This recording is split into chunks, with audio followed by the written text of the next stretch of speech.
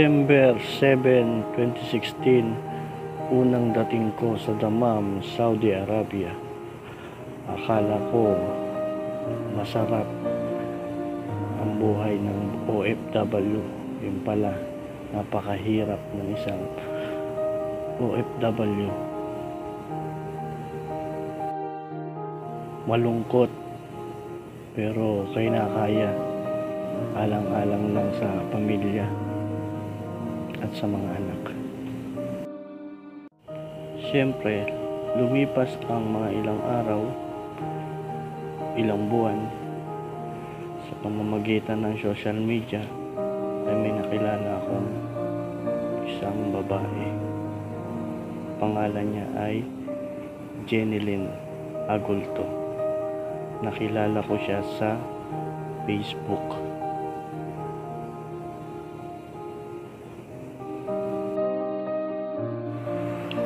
Salamat sa social media at sa Facebook dahil nakilala ko ang isang babaeng magbabago sa aking buhay. Walang iba, walang iba kundi si Jenilyn Agolto. Walang araw na hindi kami nag-uusap. Lagi kami nag-uusap. Through video call. Ang gamit pa namin noon ay Skype. Patuloy ang aming komunikasyon sa isa't isa. Oras-oras, araw-araw.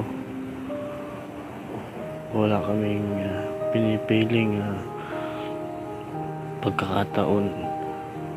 Basta may time kami sa isa't isa. Lumipas ang mahabang panahon. Patuloy ang aming uh, pag-uusap. Patuloy ang aming kulitan through video call. Na naramdaman ko na uhulog na ang loob ko sa kanya. Ganyan pala ang mm, buhay pagka malayo ka sa pamilya. Ah, kahit papano ay may na mahanap ka na magpapasaya sa'yo.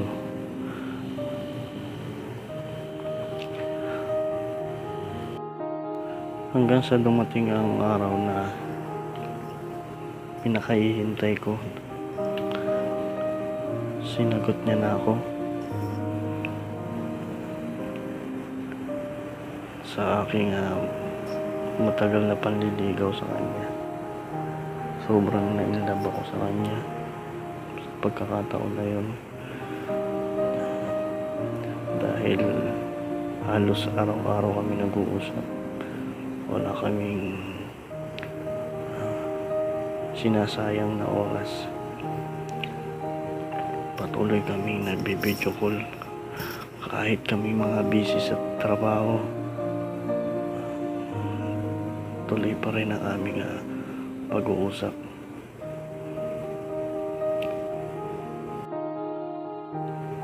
kwentuhan, kulitan. Yan ang, ang araw-araw namin ginagawa. Simula nung sinagot niya ako, lalong nagbigay ako sa kanya ng oras, time, uh, para maipakita ko lang sa kanya kung gaano ko siya kamahal. Ito na nga yata yung true love na na totoo. Pero dati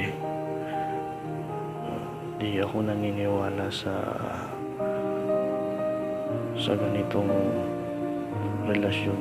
Yung online nakilala mo lang sa Facebook. Naging kayo na. Hindi, hindi pa ako naniniwala. Pero lumipas yung ilang buwan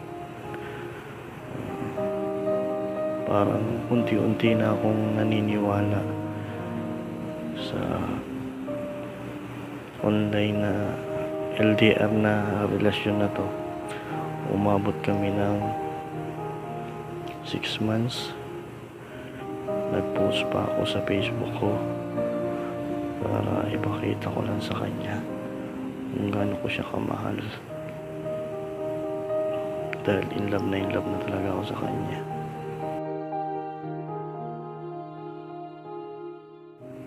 Lumipas yung buwan, lumipas yung araw, lumipas yung taon,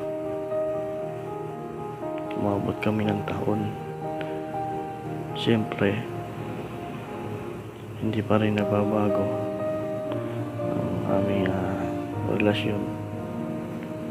Hanggang sa dumating na point na nagkaroon din kami ng away hanggang sa naantong naman sa hiwalayan. Naghiwalay nga kami pero pananalian lamang. Dahil nga mahal namin ang isa't isa, muli kami nagkabalikan. Patuloy pa rin yung aming ah, relasyon. Naging matatag ang aming ah, relasyon pamag- pamamagitan ng panalangin. Ah, hindi pinagdadasal namin lagi kay Lord na sana maging matatag kami. Kung ano man mga pagsubok ang dumarating sa amin hindi naman kasi may iwasan ng konting away, konting tampuhan. Ganyan naman talaga sa isang relasyon. Hanggang sa nagplano na kami na kung kailan ba kami uuwi para makapagkita na kami? Yun ang ah, aming sunod na plano. Isa rin yan sa ah, pinag-awayan namin. Yung nagplano ko kami nagplano kami kung kailan kami ah, magkikita. Kung kailan kami uuwi ng Pilipinas sa totoo lang napakahirap ng LDR na relasyon.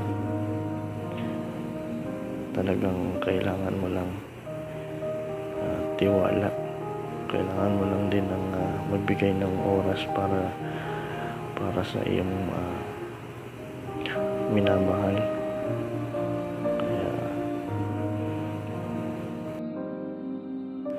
pero may time na parang ah, nagdadalawang isip ka na kung tal- totoo ba talaga kung makakapagkita ba kayo pagdating sa Pilipinas. Para kasing hindi totoo eh. Kasi parang i- iilan lang yung mga nakikilala ko na nagkatuluyan dahil lang sa Facebook kayo nagkakilala. Pero sa wakas sa pag-uwi namin ah, muli kaming ah, nagkita. Nagkasama kami. Salamat kay God. Nagkasama kami. Kahit mga ilang araw lang. At ngayon ah, anniversary namin. Ah, happy 40 41st mansari mami. Salamat. Kaya ito na ang gusto kong sabihin sa iyo gusto ko sanang iabot sa iyo itong ang nakikita mo. Para patunayan ko sa iyo na mahal na mahal kita. Ah, pag uwi natin baka sakaling maibigay ko na sa iyo to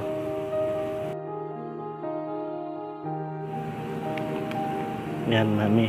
Ito na ang pagkakataon. Coming soon. Ito na ang gusto kong sabihin sa iyo will you marry me?